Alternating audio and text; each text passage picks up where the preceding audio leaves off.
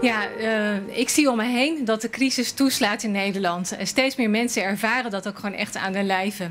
Uh, mensen worden werkloos. Niet alleen ouderen die vervolgens ook moeilijk uh, aan een baan komen, maar ook jongeren. Er zijn 100.000 jongeren onder de 25 jaar die geen baan hebben. En dat kan en dat moet ook echt anders.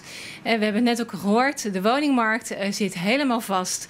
De ene wil zijn huis verkopen, maar kan het niet. De ander wil een huis kopen, maar kan juist niet aan een huis komen.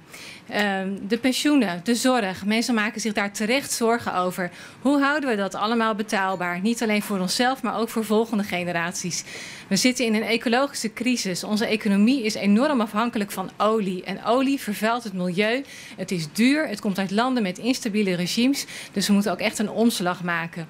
En de ChristenUnie vindt dat dat kan en dat dat moet. Die verandering is echt keihard nodig. Wij staan niet voor makkelijke bezuinigingen als het gaat bijvoorbeeld om defensie en ontwikkelingssamenwerking. Daar willen wij niet aan tornen, want wij zijn solidair. Niet alleen met de mensen in eigen land, maar ook buiten onze landsgrenzen. We moeten ook internationaal onze verantwoordelijkheid uh, blijven nemen. En verder willen we ook absoluut niet bezuinigen op de kinderen en op de jongeren. Wij investeren in onze jongeren, in gezinnen in het onderwijs, zodat ook echt jongeren kansen krijgen op de arbeidsmarkt. En wat wij wel doen zijn hervormingen, hervormingen in de zorg, om ook de zorg voor de toekomst betaalbaar te houden. Hervormingen in de woningmarkt, zodat uh, ja, ook jongeren weer kansen krijgen op een huis. Uh, een groene en duurzame economie, dat is waar de ChristenUnie voor staat. Uh, wij hebben zeven veranderingen in ons verkiezingsprogramma. op tal van punten waar we nu zien dat het anders moet en anders kan.